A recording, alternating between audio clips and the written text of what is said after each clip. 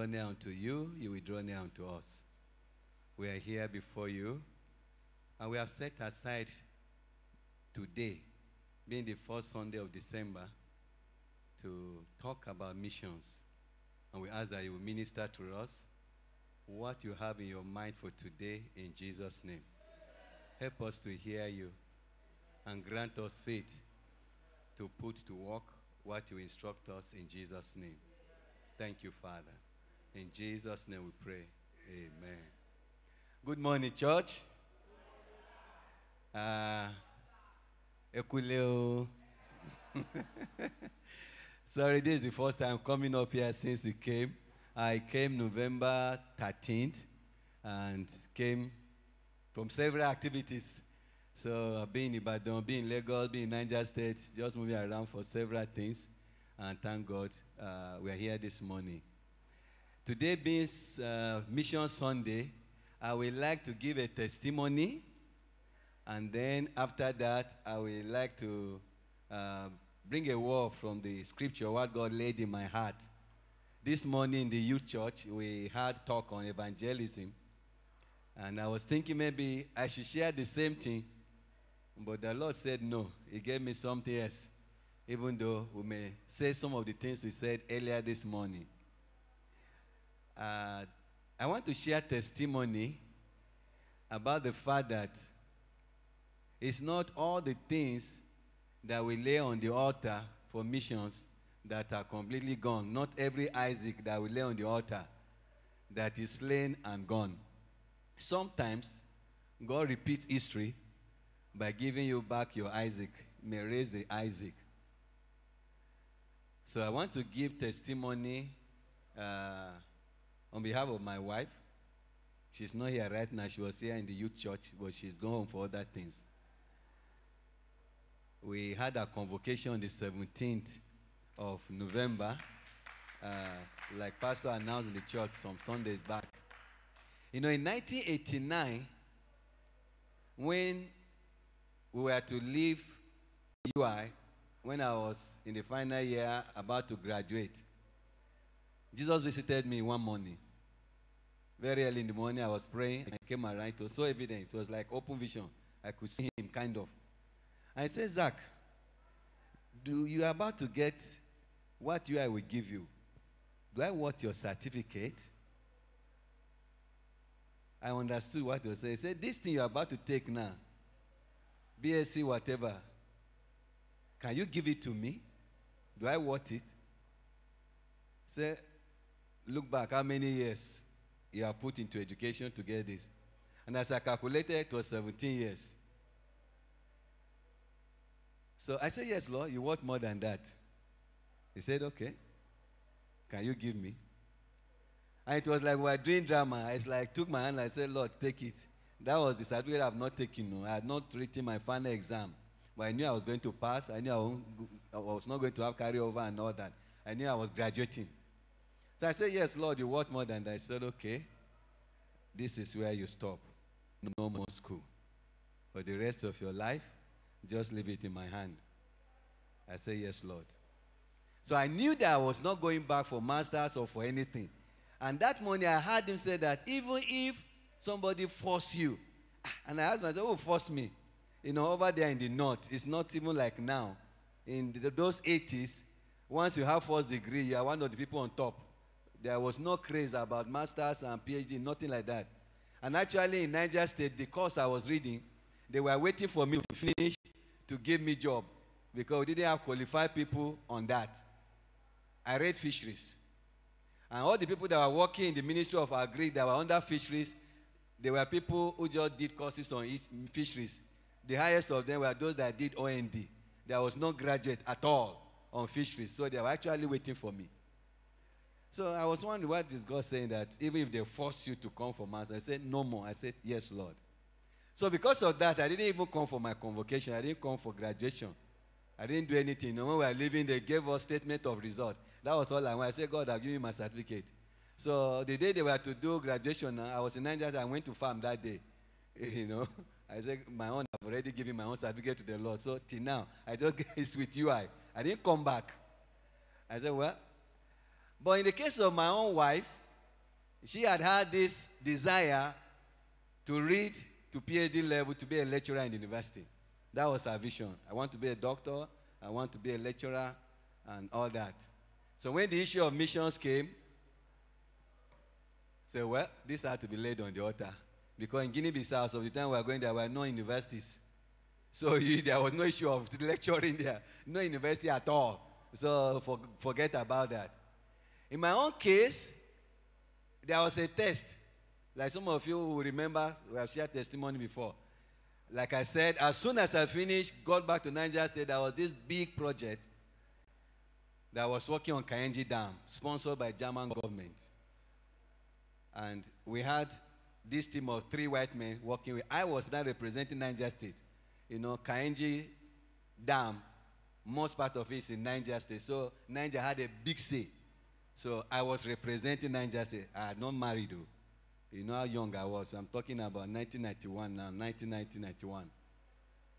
Uh, 94, I was on that project. These people, they just got to like me. Because three of us that were on top, the other two, one was a nominal Christian, one was a Muslim. So anytime they send us out teams, usually we go out with teams of 10 people, can do two weeks, three weeks. They just give a lot of money. You know, they don't want us to suffer, you know, mostly in the north there. The issue of wealth. So many of those places, there were no filling stations, just black market, no fixed price. So they will give us a lot of money. We'll buy fuel for boats, for cars, because some will go by road, some will go by, by, by water. We had speedboats, we had cars. So you are in charge of all that. People are supposed to sleep in hotel where there is hotel. Where there are no hotel, we go with tents. We mount up tent. Usually we go with cook, male cook. We do all that. So as much as you spend, you just come back, you fill your phone, vouchers and that. And then you bring change. I didn't know that those other two colleagues, anytime they go out, they don't come with much change. Because whatever you say you spend, they just stamp it, that's it. But in my own case, as a Christian, it's only whatever we spend. And whatever the people are entitled to, they have night allowance, I will give them. So these people keep us, ah, Zach, didn't people eat? I will say they ate. Didn't you sleep in hotel? We slept. Even the people that will sleep in hotel, there's category. Those of us that were senior staff, to what limit? These other younger people or junior staff to what limit? So I will just spend whatever we're supposed, and I will come with a lot of change. I didn't know that it was an issue. To me, it was just normal. So they kept asking, ah, did you give people this? I said, yes, da, da, da. Because of that, they decided that I was going to head that project by the time they were leaving. And the project was to run for nine years, and I was to head it. So what did they do? They went to Aberdeen University in Scotland and registered me for my master's program to do master's and come back and head that program. They didn't tell me. They wanted to be a surprise because they were so happy with me. They didn't know that I was preparing to go to Guinea-Bissau. So by the time they were through with all the things, they now brought the man that would be my supervisor there. They invited him to come to Nigeria, and then we'll do all the arrangement, and now we go with him to go and do my master's program, and then come back and head the program. It was then they now told me. The lady called me, a German woman, said, ah, Zach, tomorrow you are going to Abuja with our senior driver to go and do your passport, da da da da da. Which passport? I said, yeah, because you are flying out now. She now told me the thing. And expected that we jump on and say, thank you. And uh, I said, ah, you have registered me about the university. I didn't tell me. He said, yeah, I didn't have to tell you. Ah, I said, I'm sorry, I'm not going. You. Ah, and you know, I like jokes. And I'm, I was used to joking with them. Sometimes I would just cry. So he thought I was joking. He said, you, you have started again. I said, no, this is no joke, oh, madam. I'm not going. Because he said, go and get ready for your trip tomorrow to Abuja. I said, no, I'm not going to Abuja. Very long story. He started like that. I said, what? You are not doing what? He said, you must stay. I said, I'm not staying. I'm going. So she started with a lot of offers. I'm talking about what God told me, what Jesus told me in the camp. That was when it now made meaning. When Jesus said, even when they beg you, I said, who beg me to go for masters? My father, a farmer, they have just uh, trusted God for us to school to this level. So the woman said, Zach, you are going. I said, I'm not going. He said, God. He called me the next day. He said, okay, get ready tomorrow. We'll go to Apapa. We'll go to Lagos. And when we get to Apapa Port, whatever you see there and you desire, just point to it. I will, I will buy it for you. but you are going to stay with us for this program. I said, I'm not going to Lagos with you. Forget about Lagos.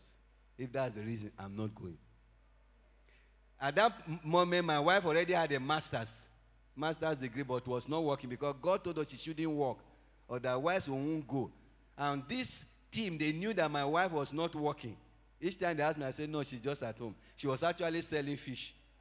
Because working on the sea like that, anytime I go, I would just buy a lot of fish. We had big deep freezer. We put fish there, so she was selling fish. So this woman said, okay, go and call me your wife. I said, my wife? What, what for? He said, no, it's woman to woman talk. I said, but she's my wife. I can't call my wife without knowing why. So I insisted I must know why. She said, yes, I want to give her office here. She will start work tomorrow. I said, which work? Anything she wants to do. And she will tell me her salary that once she says so so amount, no, no negotiation. We won't debate. Whatever amount she mention, that will be her salary. I said, for doing what? I said, for doing anything she wants to do. Already I knew that was a bait for me. And I said, but you will stay. I said, sorry, you will never speak to my wife in this office because she won't come, if that is the reason. The next day she called me because she was now ashamed that she has gone that far. Why will she tell her government? They have already paid for my school there. My supervisor had come to Nigeria. All their names. So it was a big shame. What kind of thing is this? This boy must stay. And I said I was not going to stay. The last option she gave me, she called me. Say, "You Zach, I'm a woman. And I've worked for German government for several years in African countries. This is the fifth African country I'm going to, eh, and they trust me. If I want to speak to your president right now, I can speak to your president. There's nothing I can't do. I said, That's not true. There are things you can't do. but I know what you are talking about. He said, I'm just telling you, I'm going to do something for you that I've never done for anybody. But I'm going to do it for you. Because I want you to stay with us. I said, What do you want to do? He said, I'll go to Germany this weekend with all your credentials. And German government is going to employ you. You become a German worker. They will pay you at our rate in foreign currency. I've never done it for anybody. I'll do it for you. So you will cease to be a worker in Nigeria. You, you will become like a citizen of Germany because you are not a worker of, of, of German government. So I will do it, but you will stay. I say, don't bother to fly. Oh. I'm not staying. You know, of course, at that point, she now she now said, I know now that you are. She started to abuse me, all kinds of She was just mad. She said I was mad, but I think she was the one that was mad that day. You know, there were no phones that day. So they had this radio communication straight to me now to call the governor and to call the director that they should come. Something was wrong with this boy they sent and all that. So many things. The whole of Minna shook when they heard that there was problem. So my director ran down. That same day, the man arrived in New Bussa in the evening, in the night. Because the woman, I don't know how he spoke to them. We just said that something was wrong with me, something was wrong, something is wrong with that, that they must come and settle the matter. So everybody, they thought I fought them. I said, but he has been a good boy. What is it? My director arrived in the night. They camped in one hotel. Then he called me. And he's a Christian too from ECWA Church. It was like a father to me. So he called me that night. I said, what is the problem? He looked obviously, you know, frightened. What is it? So I told him all the story. He said, Ah, it's simple. I thought it was one big problem. This is God opening door for you. Missions need money. You just agree with them, gather a lot of money, send to the field, you'll be saving some. After nine years, if you are still led to go, you will go. There's no need to, to raise dust about this. The issue of Guinea-Bissau can come up anytime she, he preached to me. And as though he has convinced me. But inside of me, what I was hearing in my heart is Guinea Bissau. Guinea Bissau. Not Great Britain. You know, each of them is GB, GB. Guinea Bissau, Great Britain. and Guinea Bissau and New Bussa also sound very similar. New Bussa, Guinea Bissau. So Jesus said, Your time in New Bussa is up. It's now Guinea Bissau. I was hearing that very clearly. So I started praying, oh God, why will I answer this Baba? Because he was like a father to me. And he spoke nicely. And it's a matter of nine years. He would have gathered a lot of money. He would have done mission. But I knew God was saying, go. And at that point, I remember Jesus said, even when they beg you to come, no more school. I remember. He said, No more school. That was when it now made meaning to me. So I said, God help me. oh." And this man came, sent by the governor, and said, What is it? I must stay. As I was praying what to answer, God gave me a word of wisdom. I said, Only one question, sir. You know, we don't look to the face of elders when they are talking, but that day I looked straight to his eyes. I said, Sir, I don't have only one question. Can you guarantee that the plane I will enter in Lagos is going to land in London safely? He looked away. I looked again. Say, sir, the only question: Can you guarantee? Are you making a pledge? Because now they have arranged for flight. That plane, are you going to guarantee that that plane will land safely in London? Hey, Baba said no. Only God can do that. I said that's why I won't go. God said Guinea-Bissau, not London. No. The man started crying. Me too. I started crying. I saw tears running. Me too. My, both of us started crying. That was how. He didn't talk again. That was how I left the office. I left the hotel. They, nobody signed my resignation letter. Everybody said I was. I ran away. I ran away because they said I won't go. But in the case of my wife, after she had laid down that desire of PhD, after 25 years, God raised up the Isaac. Some of us that are younger, I don't know what God is telling you, or maybe you're afraid because of one ambition or something that you have. I just want to tell what I'm telling you is that God is not a taskmaster, He's not a bad master, He's not a bad father. He won't cheat you, He won't take the best from you. Trust God that He has the best in His mind for you. So we went to Guinea-Bissau forgetting about everything about PhD. But by 2013, when it was time for our children to come for tertiary institution here, we were now praying, what will she be doing? What will I be doing? We, both of us are actually not office people. I don't like office work myself. I prefer field work. She doesn't like office work too. So what will we be doing? So this year that will be settling our children here because we had friends, we have families that were ready that our children should come and stay with them and we continue in the field. And even our children, that was their own desire that we should just leave them. We shouldn't leave. We say no. It's our responsibility. We will come to Nigeria because you were born in the field, you raised there. Nigeria is different from Guinea. There will be culture shocks. We, we know that you need us. And it's our responsibility. So we must come. So we decided that we'll leave the field and come. While I'll be going and coming, their mom will be here with them permanently. We say for at least three years. So when she was praying, it came to her that ah, when she is here for at least three years, that PhD didn't work. Maybe she can do it too. So we prayed and had peace because then God has already told her that this cashew pulp that is wasting in Guinea-Bissau, something can be done about it. So her mind has been on this cashew, the, the, the fruit that they throw away because we just remove the seed they sell. All over Guinea-Bissau, and that's our major cash crop. Plantation all over. And it just he- heaps and heaps all over the place wasting. So that became a burden in her heart. Can't we use this thing for something? That was what came to her heart. Maybe she can do PhD on cashew pulp. How to use it for animal feed. I said, okay, fine. He said, well, if I miss, if I meet Professor Longe in UI, and she says she can pick me up as a student because I don't know when she will retire. But if she says yes, then I will know that's a sign that God wants me to do it. So we agreed on that. And when we came back, met Professor Longe, I said, ah, we don't know when you're about to retire. I want to do a PhD. Can you supervise me? She said, yes, no problem. You can finish. So we knew it was God. Most of you know how she stayed here. Today she's a doctor because she finished. But you see, the purpose of that PhD is not the name, it's not the doctor now. And it's not to look for a job with it here in Guinea, eh, in Nigeria. It is for the field because when she was in, people said, so after the PhD, will you go back? Will you go to the field? Will you go to the village? We want to. People are already offering opportunity that she will, she will, she will lecture. Like some of our friends, somebody is rector somewhere, somebody is registrar somewhere. I said they can give her teaching job, lecturing job. We said no, it's because of Guinea-Bissau. We are going back to Guinea-Bissau. And you know what God did last year? She finished 2019. She went back January last year, 2020. I went to Gambia to receive her. While in the Gambia, there are this German couple, missionaries in Guinea-Bissau, who were in, Guinea, in Gambia for holiday. So we went to visit them where they were staying in the guest house. And they said, ah, Kende, you are back. They knew about our cause. So the lady said, do you know about so-so NGO in Bissau?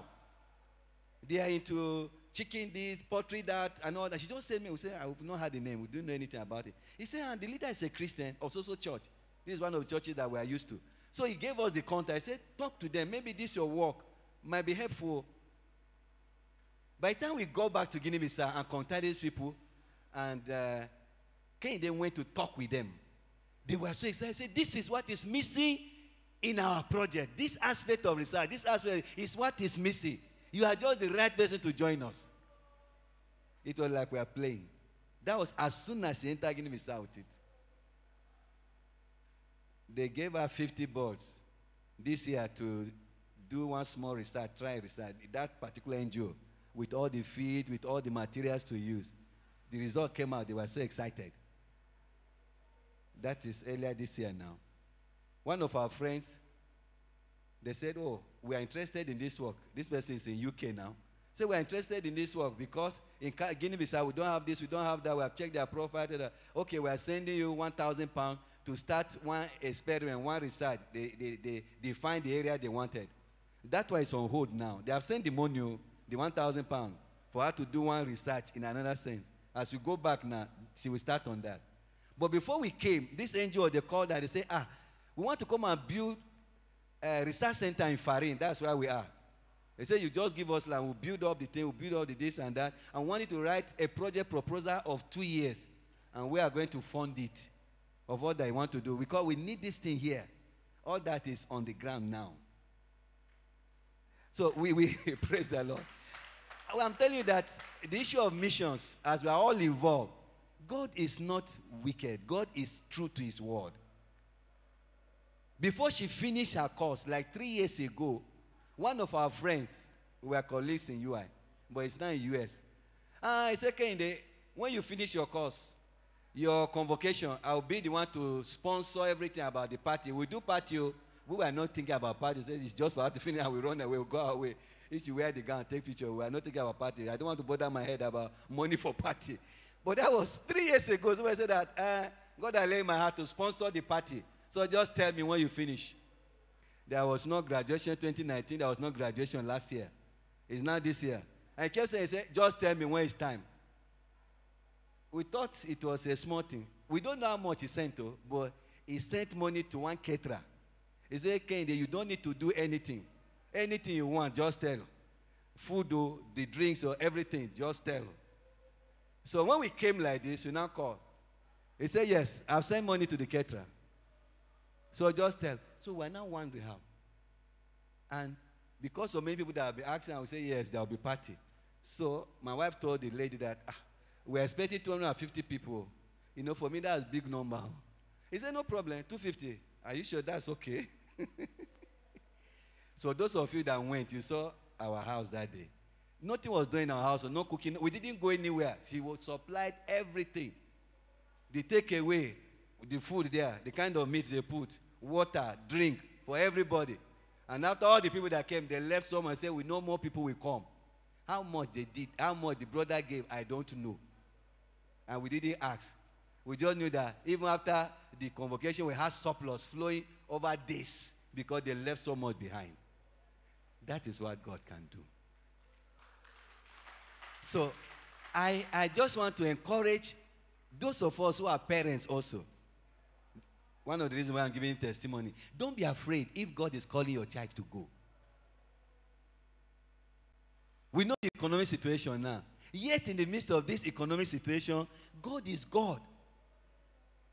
It is in the midst of this economic situation that we, for the first time, will be flying direct from Guinea-Bissau to Nigeria, flying back direct. For some years now, there has been that flight, but very, very expensive. And we can't afford it. We always go through Gambia and then go by road through Senegal, then Guinea-Bissau. But this time around, my wife said, ah, I'm tired of all these trips, so I want to fly direct. I said, I agree with you. Started praying. God provided the money. Both of us now, for the first time, she came direct from Bissau to Nigeria. I came through the Gambia still because I went to receive the devotionals of next year that we have done in Creole and to send them by those cargoes to Guinea-Bissau. And then from Gambia, I flew here. But we are flying back together on the 14th. The, pay, the ticket is paid, though. Everything. So, God's faithfulness, even in the midst of this. And that's where your prayer comes in. That's where we are in it together. So I want you to know that God is a faithful God. And that even though we are here as small as we are, God is with us and is using us together to do great things in the nations. I'm not giving other testimonies about Guinea Bissau now because I want us to check the word of God. But I wanted to tell you about this her PhD. So as we are going back now, she is going to land in serious work because people are expecting her to work on this, work on that. And we don't know to what level God is going to carry it. Yet, it is under missions call. So, those of you that are young here, don't be afraid that, oh, my career. Who gives career? Is it not God? And who carries people? Is it not God? It's God. So just believe God. Say, Yes, Lord. And my prayer this morning is that each of us will find grace to say, Yes, Lord, to whatever is saying to us in Jesus' name. Let us read uh, maybe a uh, few scriptures together. First, I want us to read from Luke chapter 12. Somebody project it for us. Uh, these two scriptures uh, that I want to read now, I talked about it in the morning with the youths, and I want to start with them here. Luke chapter 12. Let's read verse 20 and verse 21. Uh, Luke 12, verses 20 and 21. You know the story, the story of the rich fool. But God said unto him, Thou fool, this night thy soul shall be required of thee. Then those, do, then whose shall those things be which thou hast provided? 21. So is he that laid up treasure for himself and is not rich toward God. This morning, what God led in my heart to share with us is being rich towards God. Being rich towards God. I want to use this opportunity again to thank all of you on behalf of all the missionaries of FMI for all your sacrificial giving throughout this year. And I know by August, many of us have renewed our pledge again for our APO and other commitments. It's working, no? It's giving increase to the kingdom of God. And you are making yourself rich toward God, towards uh, through that. And the testimony I gave this morning is for all of us, like I always say.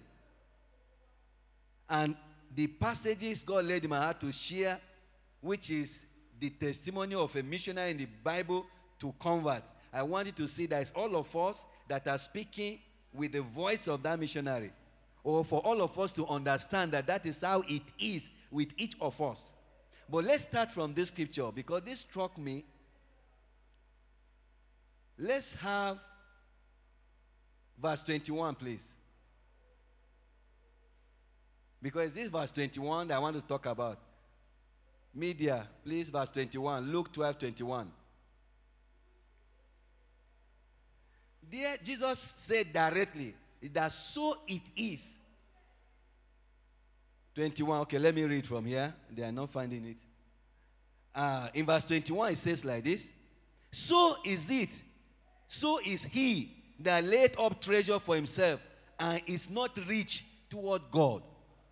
This man was very successful in his business. He was a diligent person, he was a careful person, he was somebody that had multiple income sources, streams. Because being a farmer, from what we read in the Bible, he has farmed different things.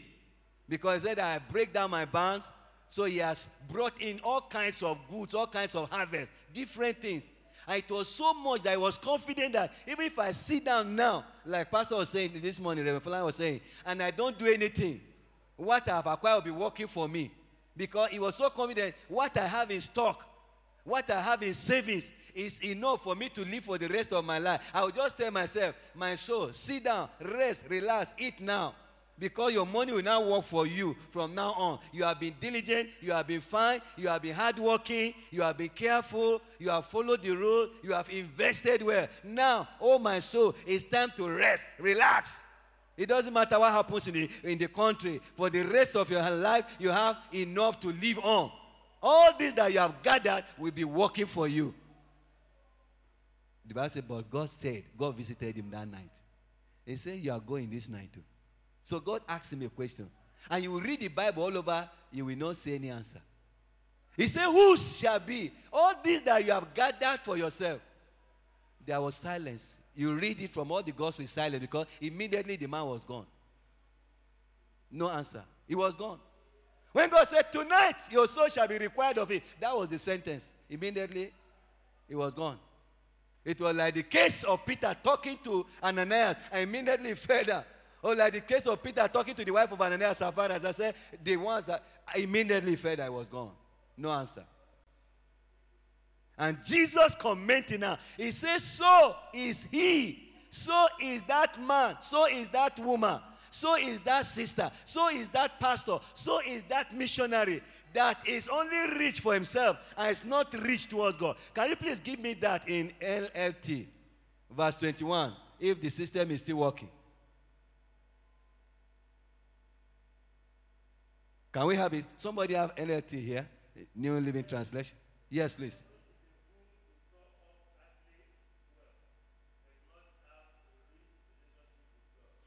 Yes, sir. Please repeat it, sir.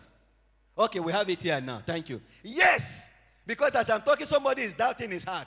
Somebody is questioning, is this so? He said, Yes, it is so. Yes. This time I'm telling you is yes. Yes. Exactly so. A person is a fool to store up earthly wealth for himself, but not have a rich relationship with God. The one that have only mouth relationship with God. The one that don't have real relationship with God. The one that don't have relationship that involve their substance. So it's not rich. Is a fool. Even if he has stored up so many earthly things that will now work for him in his old age because he's not rich toward God. He said, Yes, that person is a fool. This is Jesus talking, no? Not me. Oh. Are you rich toward God? I want to encourage you this morning that all that we are doing missions, you are only making yourself rich in God. You are not a fool. It's not a waste. That's all God told me to tell you this morning. Now all this mission, mission thing, all the see, all this, all, it's not, you are not a fool because you are being rich towards God. But the others that we gather all, succeed in gathering all, they are diligent, they are this, they are that, they have mastered all the formula. It worked well. Nothing backfired. There was no bankruptcy. Bank didn't even close up. We are not talking about that aspect yet. Everything still worked well. But as long as they are not rich toward God, no rich relationship with God, the Bible says that that person is a fool. Oh. And Jesus says, so is everyone. So is everyone. Whether is sleeping in church, whether it's going from one meeting to the other, one prayer mountain to the other, as long as you don't have a rich relationship with God, it doesn't involve your substance. It doesn't cost you anything. It's only gathering, gathering, gathering for yourself. You are so, so mindful of your future that you are not mindful of the future of any other person. The Bible said that so we will be with that man because he will leave everything and he has nothing to meet over there. That's why Jesus in John, can you please give us John chapter 6, verse 27? Let me read it from King James. I want you to give me John 6, 27, NLT. John 6, 27. In King James, it says like this Labor not for the meat which perisheth, but for that meat which endureth unto everlasting life, which the Son of Man shall give unto you. For him at God the Father sealed. In that's King James. Please give us New Living Translation. One says, But don't be so concerned about perishable things like food Spend your energy seeking the eternal life that the Son of Man can give you. For God the Father has given me the seal of his approval. Don't be so concerned, so concerned. It's not that you should be concerned at all, but don't be so concerned. Don't live your life just for perishable things. Jesus did not say we shouldn't work here. He not say we shouldn't labor here. But don't live your entire life. Don't give your entire time, your everything about you, so only for perishable things. Don't labor just for perishable things because you are not rich toward God. When you do that, labor for soul, labor for eternal things. Labor that will be rich toward God. So don't spend all your being, all your time, all your investment, all your wisdom, all your knowledge on perishable things. That's why we are not fools in this church. As we are saying missions, mission. We are thinking about those in the field, those in the nations, those that have not been rich. Jesus, that was what he said. Yes, we are living because we must live in the physical. So we should work, we should labor, we should sustain this body. But don't let this body, don't let this body, don't let this body, this king, this Caesar, don't let him be alone. Don't let him be everything I want to say. That was why Jesus Christ said, Give to Caesar what is Caesar's. But remember to give to God what is God's. That's what mission is all about. It's not saying that we shouldn't give to Caesar. It's not saying that we shouldn't give to ourselves. It's not saying that we shouldn't treat our body. It's not saying that we shouldn't build for ourselves. Shouldn't build house or buy a good car. No. But while you are doing that, brother, while you are doing that, sister, remember to give to God that which is God so that you'll be rich toward God. That you are not only rich in the camp of Caesar and you are poor in the camp of God. You won't be wise by doing that. As you are laboring to be on big social status in the camp of Caesar, labor also that you have a befitting mansion in the camp of God. By being rich toward God. And how? These things we are talking about. Our labor together. Jesus said, even if it is one soul that we succeed in bringing to the Father, there will be joy in heaven. There is festivity in heaven because we labor together and we got one soul. I could imagine the joy that Reverend Folari had this morning, seeing Brother David in church. Yes, which pastor will not be happy when you see a new soul come, a new member come? But Jesus said that even heaven that are very spiritual, even the spiritual people in heaven, they put aside their spirituality and begin to dance when one soul is delivered from darkness and enter heaven that they are giving all the investment for us to combat the kingdom of darkness and draw people out. When we succeed in bringing everyone out, they are happy. Angels begin to dance, they begin to make melody just for one soul. So even if we say that our mission field without big churches there is not even if it is one soul. Jesus said, as long as you have done it to one little of this of my father, it is to me you have done it. It's to me. Even if it is one we're able to affect in every of our mission field, Jesus will still say, Thank you. You have done well. Because one has come out of darkness.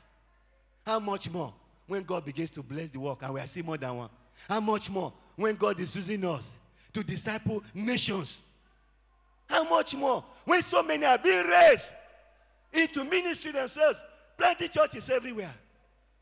Are you rich toward God? How rich are you toward God? we all have opportunity to be rich toward God. Where we are treating our body well, where we are mindful of our social status here, be rich toward God. Labor to be rich. Jesus said, do not labor. Do not be so concerned. Do not be so concerned about perishable things. Be concerned, yes, but not be so concerned that you are not concerned about souls. He's talking about balance here. Oh. We're talking about balance here. Galatians chapter 6, 9, and 10. I'm talking in light of our involvement in mission as a church, you as a person. John Elliot, Elliot, Jim Elliot said, that person is not a fool who gives what he cannot keep, that he might gain what he cannot lose. You can't keep anything. you know, you can't keep anything. So whatever you can't get, you give it out so that you will gain what you cannot lose. He said you are not a fool. You are not a fool. All that you are giving, you are giving, you are giving to missions because really you can't keep anything. And what you are gaining or what you are going to gain with that, oh, you know. Paul said that the little trial, the little suffering, the little giving we are doing now, on this side of eternity, it cannot be compared with the great weight of glory that awaits us, that the little, little suffering we are passing through now because of missions. You can't compare it to the great glory that is acquiring for us. There, I say, no, it's not incomparable at all. That this little investment you are doing now, what is gathering for you over there? He said you can't imagine it.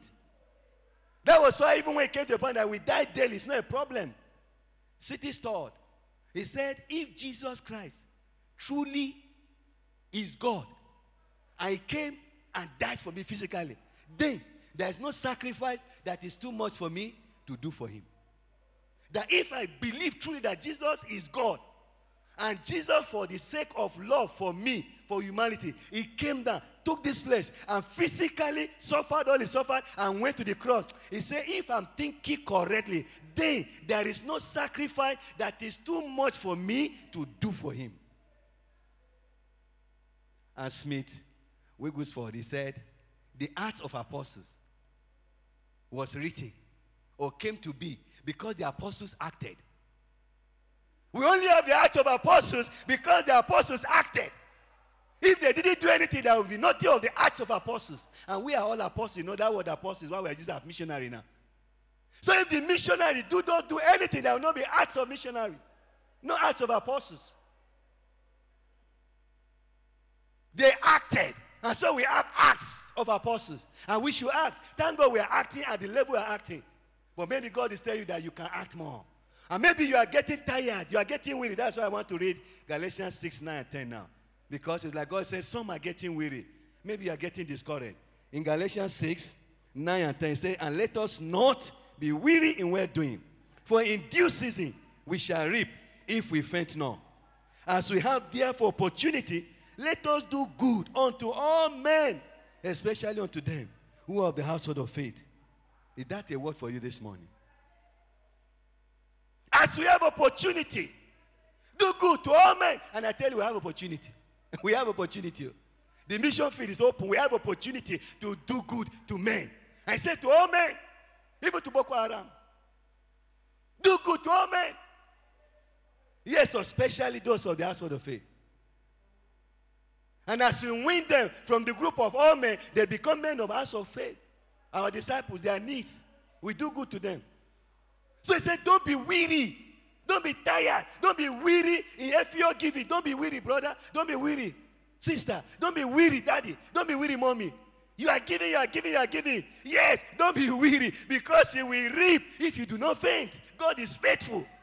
That's why I started by testimony. That God, everything is on record. Everything is on record. And what we are doing, we transcend. We outlive us. Paul, long gone. All the scriptures that we have now, they were written, most of them, when he was in the prison. He didn't know that they would become scriptures. He didn't know that they would become sacred word. They were just letters sent in prison. It was a suffering. If Paul was not in prison, we won't have all the epistles that we have today. Because we'll be going from church to church to teach. But because he was in prison by the wisdom of God, and he agreed, and we even sing to God, even in prison, then God gave us this scripture because God knew what he was doing. God was not being wicked to Paul, that they will lock him up and become a prisoner, a criminal, as if he was a criminal. God knew what he was doing. So whatever is happening to you now, just know that God knows what he's doing.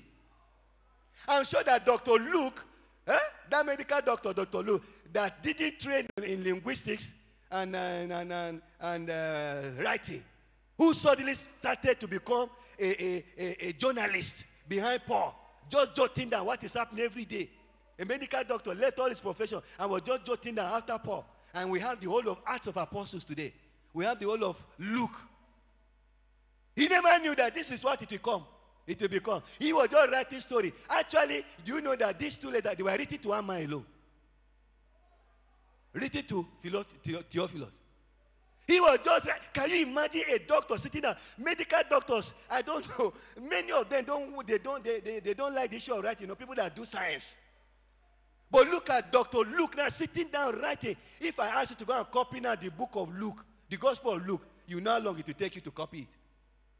I sat down writing as a letter to one man alone. He wanted to win one man. He wanted to convince one man. And he started writing the story of Jesus. He was writing to one man.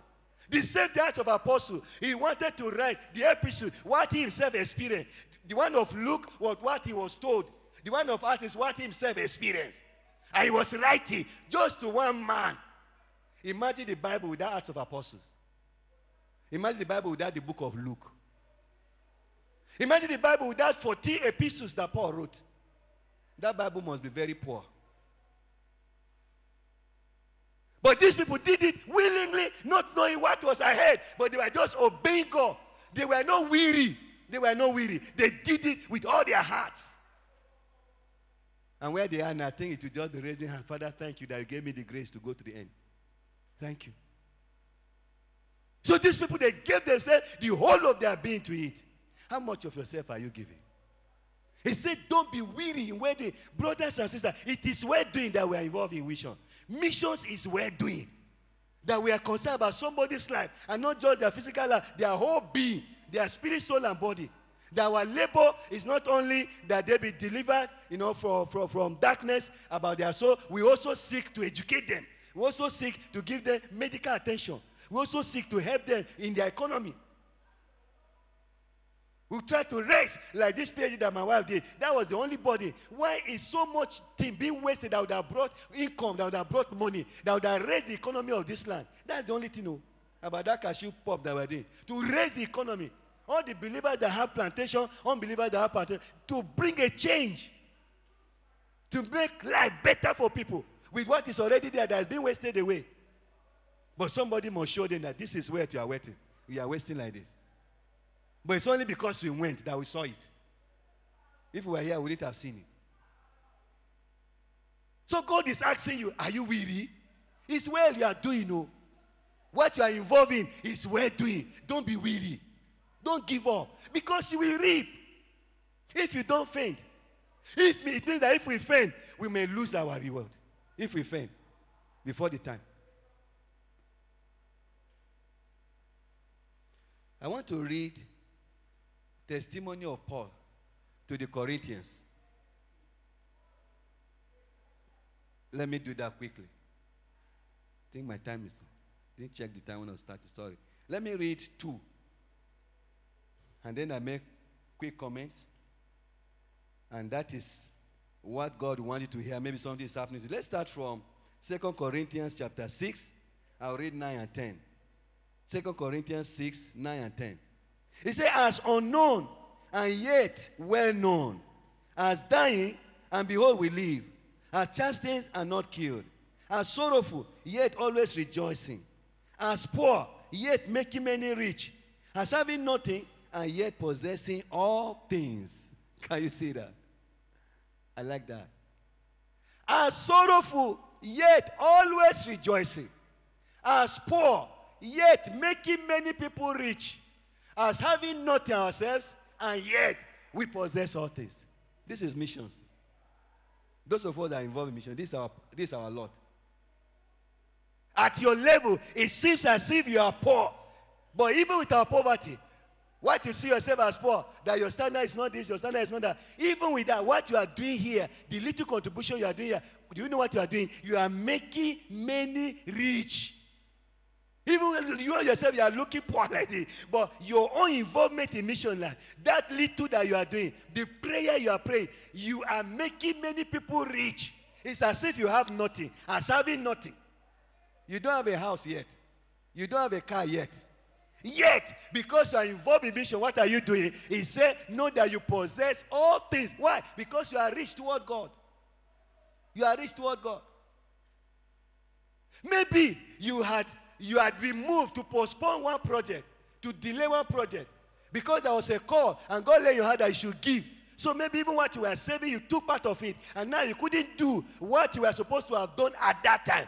You are not a fool, oh, because it look as if you have nothing. But look, bro, the Bible says that you possess all things. That's why I say all things are yours. All things are yours. Whether Peter, whether Paul, whether riches, whether gold, all things are yours. All things are yours. You know how much we spend on golden earring and chains. Anything that is real gold, you know how much we spend.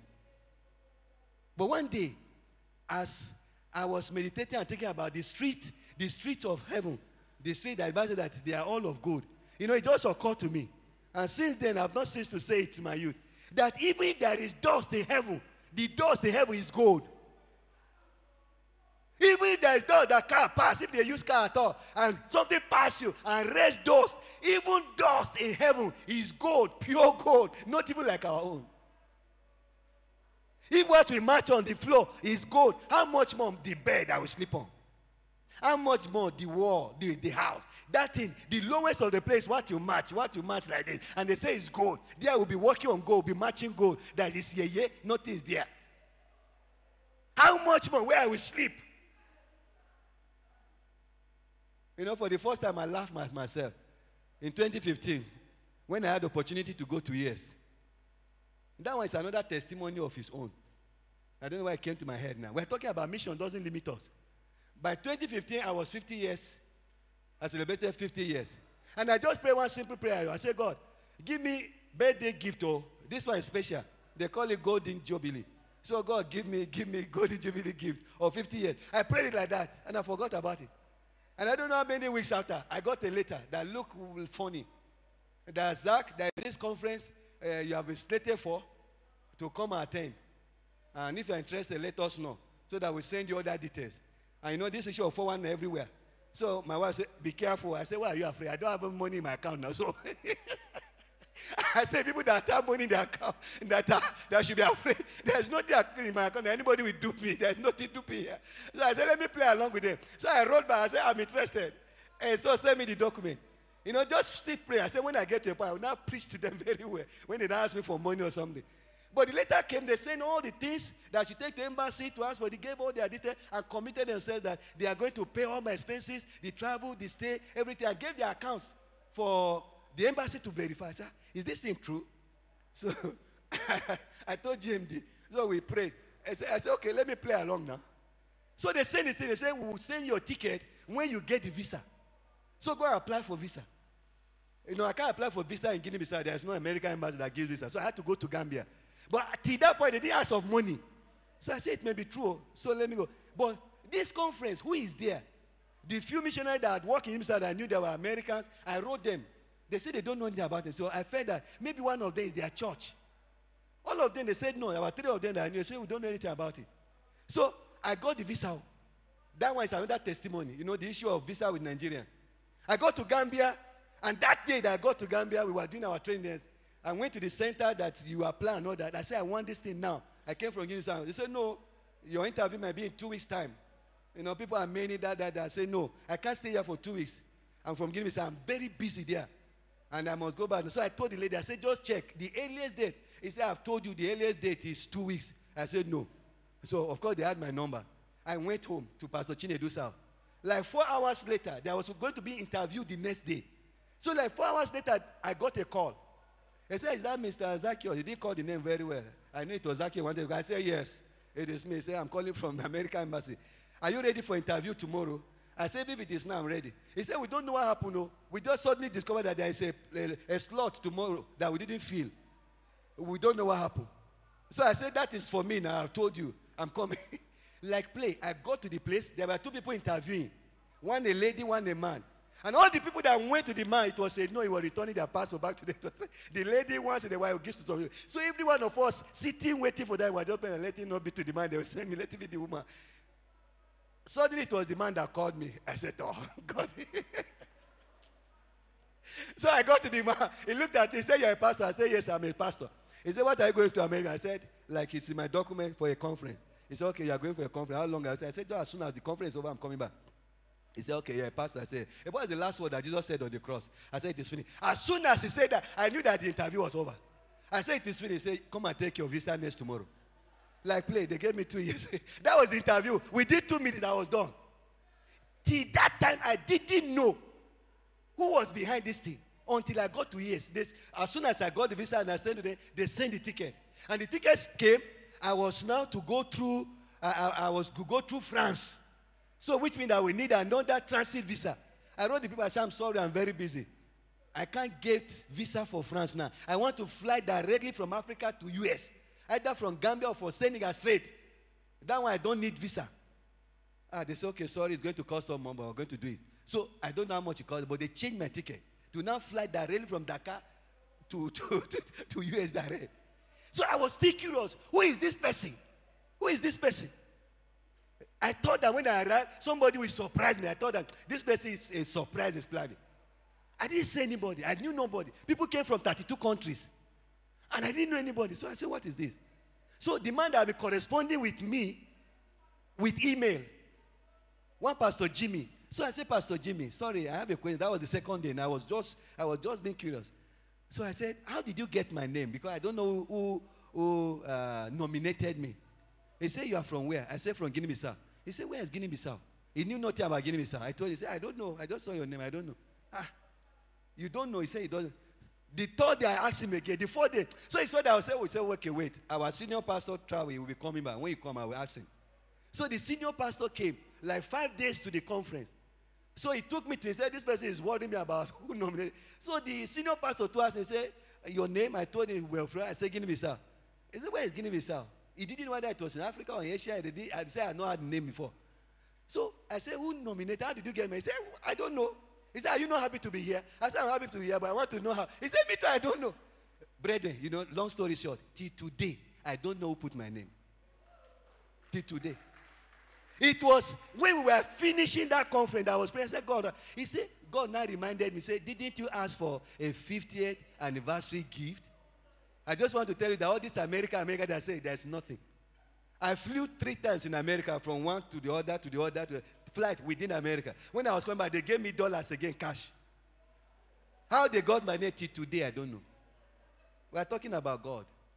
We are talking about God. And God said that was just your 50th anniversary gift. Just to tell you that even though you are in the bush there, I know you are there. As poor, yet making many rich, as having nothing, yet possessing all things. Why? Because we are rich toward God. Do you want to be rich toward God? You have opportunity to be rich toward God. If you will not desist from the opportunity, he says, as we have opportunity, let's do good to all men, and we have opportunity, brethren. We have opportunity. Let me read the last scripture. Because I see that time has gone. But please just permit me to read this. And let's go to chapter 4 of that same second Corinthians. And then let me read verses.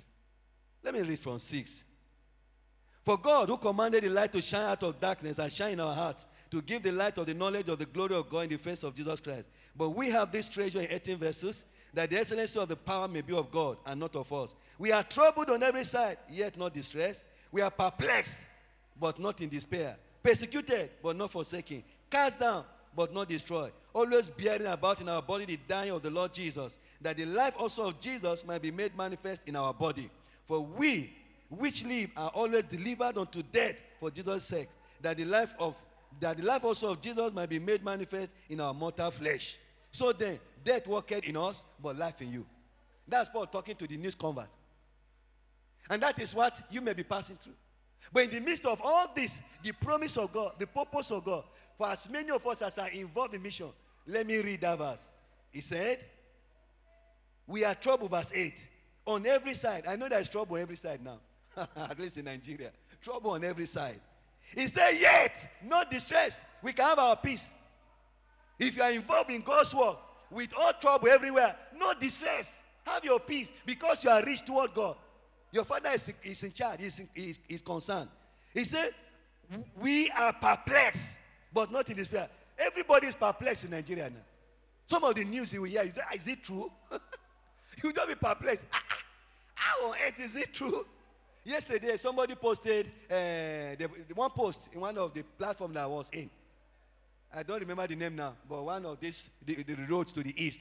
And they stopped somewhere and they said they, they, they kidnap people, they bought the driver and the people, and there's a house nearby. And the police checkpoint used to be there. I don't know if anybody saw that point, the post yesterday.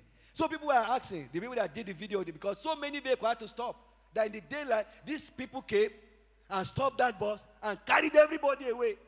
And that house that was not far from the road when they got there, because the people were saying, What happened? What happened? When they, they got so many ammunition, so many bullets, so many that they brought her in the day there.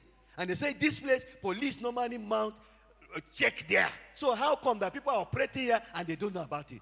Thing that you don't be perplexed about. That's what led me to that now.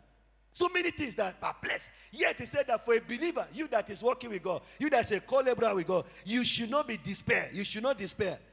You may be persecuted, but not forsaken. Cast down, but not destroyed. People may say there's a casting down, but we will say there's a lifting up. There's a lifting up. Let me read the last verse and we pray. Thank you, sir. So, the last verse, which I want to share with us, is Acts 15, 25, and 26. Can you please project for us? Acts 15, 25, and 26. Yes.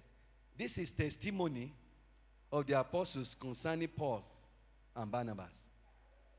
He said, It seemed good unto us, being assembled with one accord, to send chosen men unto you with our beloved Barnabas and Paul. Verse 26. Men that have hazarded their lives for the name of our Lord Jesus Christ. This is where I want to end. Men, women, brothers, sisters, who deliberately have hazarded their lives, they have put their lives in danger, have endangered their lives for the sake of the Lord Jesus Christ. Not that they were stupid, not that they were careless, not that they were foolish. No. Barnabas sold all that he had. Why he qualified to say this? Why Barnabas entered here? You remember his story. Actually, his name was not Barnabas. It was Joseph by name. They gave him Barnabas because he was that his life. Son of consolation. He sold all that he had and brought everything, all the proceed to the to the to, to the feet of the apostles. He has added his future. He laid his future down, all his inheritance, all that will be working for him tomorrow. He brought it and lay on the altar of missions. Because mission they were doing. He has added his future. All that he would have said, This is what I will live for. This is the guarantee for my future. He sold everything and brought it laid down. Paul laid down all his certificate after he has done that encounter with the Lord. His prestige, all his political connection, the position he had as a militant under whatever party there was that time that was ruling. Because somebody that had authority to go and ask for letter to keep people and nothing to come out of it. You know that he was not a small man. No? he was a high-powered youth leader with high-powered government connection. He was known. Somebody that when they were stoning Stephen, he sat like they said, Put your clothes. Let me see who will challenge you. Yes, I ordered the killing. Stone him. And now that same person is not preaching Christ, And danger his life, that they have to put him inside basket to escape for his life. A professor inside basket to, to escape death. He has added his life, but it was for the sake of Christ, not for the sake of his stomach. Oh. Not because he was stupid. Not because he wasn't smart. Not because he was hypnotized. No. It was deliberate for the sake of Christ. Men that has hazarded their life. Can you please give that to us? That same verse 26. NLT. Or the message. I've never checked that. I don't know what they say. But let's see. This is NLT. Who have risked their lives for the name of our Lord Jesus Christ risk their life, risk their future, risk their business. They have risked their investment for the sake of Christ. It was the investment of Barnabas that he risked like that. He put all down. I'm not saying you should go and do the same. I'm just saying that there are things we can do for the sake of Christ that the heavens will ring bell. That even hell will ring and say, wow, this guy is, is a terrible person. Know? See what he did. Mark him. You know that Ananias, that was what provoked him. And he ended up dying with his wife because they didn't find grace to do it. It's not easy to lay all your investment, all your future, all your labor for everything you account. You put it down. I think it was Baba Adeboye that gave his own testimony. Some of you will know about this now. That the founder, when they were building church at the point, now said that all the leaders should go and close their bank account. They should go and close the bank and bring all the money there. He was the only one that did it with his wife. He has added it. So why will he not be wise? So you be, be careful how you talk. Oh. If it's flying plane today, be careful how you talk. Oh. Have you ever closed your account for the sake of Christ before? And you are talking anyhow. Be careful. I know that it was a small boy, oh. not that he was a student, oh, that somebody would have said they cajoled him. He was already a lecturer. And you know that he's intelligent. Mathematics teach person. so I'm just telling you that it's not that somebody cajoled him. It's not that somebody dribbled him. With all his intelligence, they analyzed the day. Yet, for the sake of Christ, he obeyed that order. If it is for Christ, let's go and close the account. People that hazard their life for the sake of Christ, that nation should be rich, it's on record. So this was recommendation of men. How much more recommendation of God? These were men writing here. Barnabas, Paul, men who hazarded their lives, hazarded their future, has decided everything about themselves. They didn't care what will happen to our children, what will happen to them. All for the Lord. What will you do for God? I want to give you opportunity this morning. Two calls that God laid in my heart. One, actually, you know that God is saying you should go. But something is frightening you. It's like something is doing woo like this to you. You, anytime you want to something you hear like you, you, and you're afraid. You are holding back. I don't know whether it's one ambition or something. But something inside of you tells that you should be going, know. But somebody say, check well, oh. Don't be foolish, oh. This morning, God is saying, Come. It's me saying you should go. I'll be faithful. I'm not wicked. I won't disgrace you.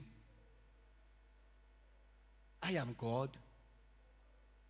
The second good is those who God has laid something in their heart. These are two things God laid in my heart to make call to pray with you. There's something you want to do, but you have not found the power to do it. It's in your heart to do it. It's your desire to do it. You have been praying about maybe three years, two years, or maybe in the last few months. I don't know. But there's something you really want to do as touching missions. But you've not found the substance. You've not found the help. You've not found the means to do it. Yet it's burning your heart. God will want me to pray with you because He gives power both to will and to do of His good pleasure. If you are in this category, I will invite you to come and we pray together. Because I'm sorry, time has gone, but this way I'm stopping. So God is calling you. Uh, you, you know that God is saying, go. It might even be short term, even for short term.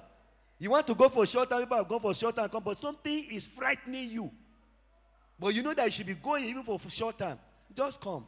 I don't know whatever I say, you, you, because that's what I had in my They say you. The devil just to say you.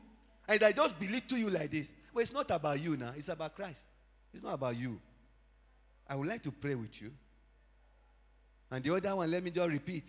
Something God has laid in your heart. You desire it. But it's been a struggle. The means, the means. And God said, because you have desired, because it's in your heart, I will help you. You can join us. I'd like to invite Pastor Lucia please. They're going to pray for us. If you want to join, you can still come.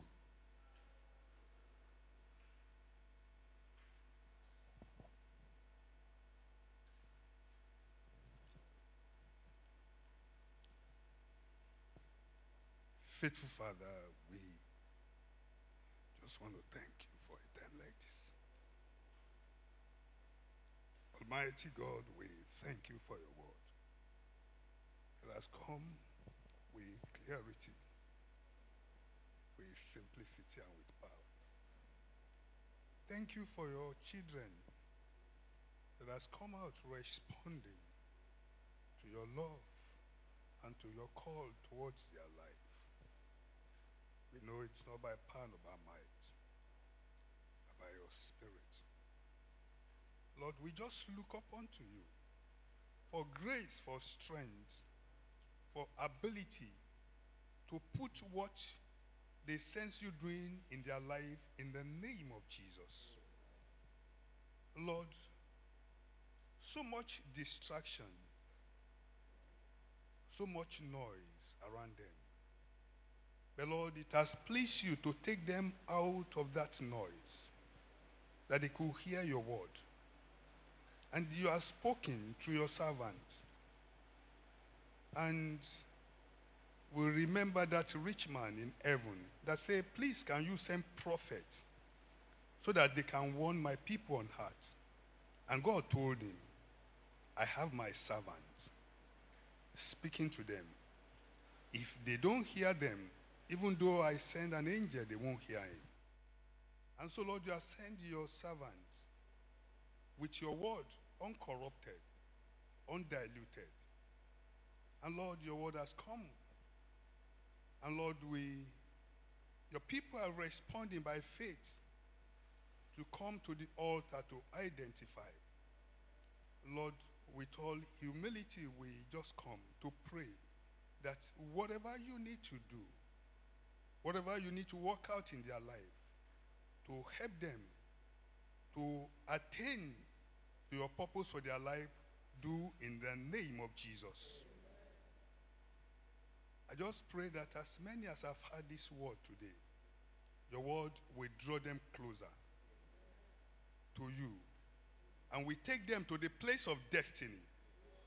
For many are laboring in this world, trying to get to where you did not send them, trying to be where you have not approved for them to be. And I just pray that you will so much help us that every life will be rearranged by your divine order, by your divine power to make us to be who you want us to be in Jesus' name. Uh, just pray that, Lord, uh, beyond what we could pray, you will do for us. And we will look back today and we say thank you uh, for bringing us your word. Thank you, faithful Father. Blessed be your holy name. In Jesus' mighty name, we have prayed. Please. Uh,